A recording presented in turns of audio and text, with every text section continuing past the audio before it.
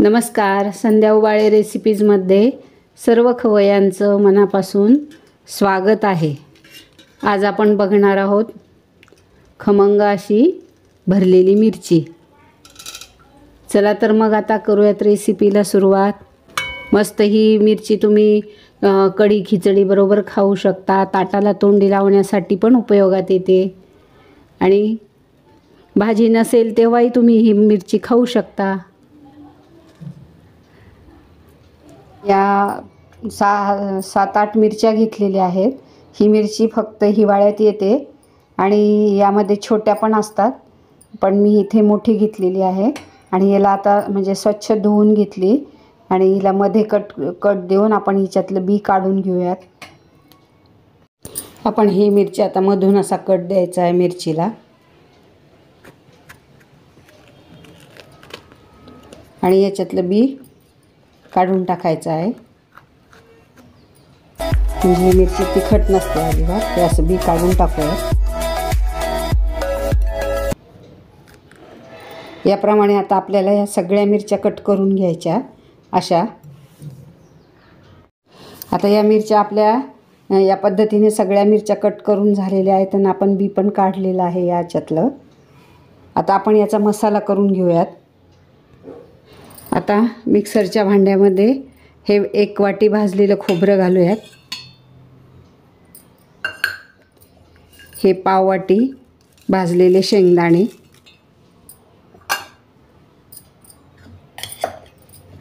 पाव वाटी भाजलेली तीळ.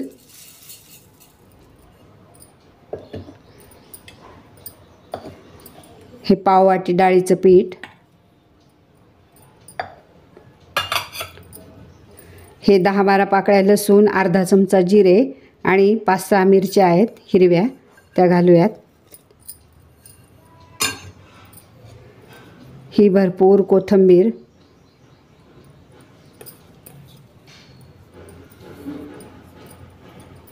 एक छोटा चमचा तिखट. ही पाव चमचा हळद. हे चवीनुसार मीठ आणि साखर चवीनुसार. हा अर्ध्या लिंबाचा रस पिळूयात.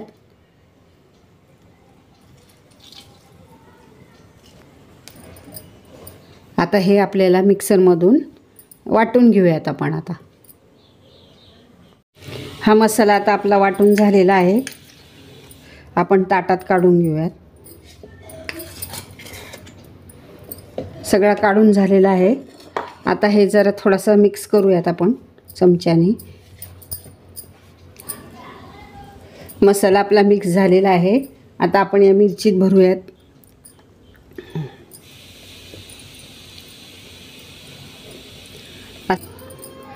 आता आपण या सगळ्या मिरच्यांमध्ये मसाला भरून घेऊ. मिरच्या आपल्या छान भरून झालेल्या आहे. तुम्ही बघू शकता. आता आपण या मिरच्या वाफवायला ठेवू. कढई गरम झालेली आहे आपली. आता आपण या कढईमध्ये दोन तीन टेबलस्पून तेल घालूयात. साधारण तीन टेबलस्पून मी इथे तेल घातलेलं आहे. तेल गरम झालं आहे आपण हिंग घालूयात. आपण मसाल्यामध्ये हिंग घालायचं विसरून गेलो. इथे आपण पाव चमचा हिंग घातलेला आहे. हिंग छान फुललेला आहे. आता आपण ही एक एक मिरची यामध्ये ठेवूयात. अशा याप्रमाणे सगळ्या मिरच्या आपण ठेवून घेऊ.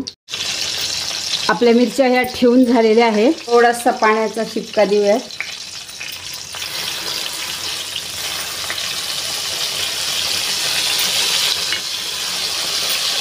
आणि छान मिरच्या वाफून घेऊ झाकण ठेवूयात. आपले पाच मिनटं झालेले आहेत बघूयात. मिरची. मस्त वाफ आलेली आहे. आता ही मिरची आता आपण उलटवून टाकूयात.